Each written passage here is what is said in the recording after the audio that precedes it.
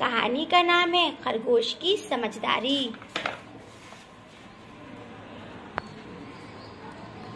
खरगोश चीकू व चूहा टिंगू बहुत अच्छे मित्र थे।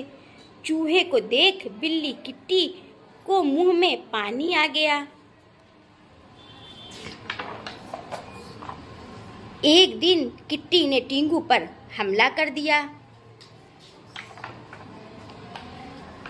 चीकू ने अपने दोस्त को बचाने के लिए गुलेर से नारियल पर निशाना लगाया, जिसके नीचे किट्टी ने टिंगू को दबोच रखा था।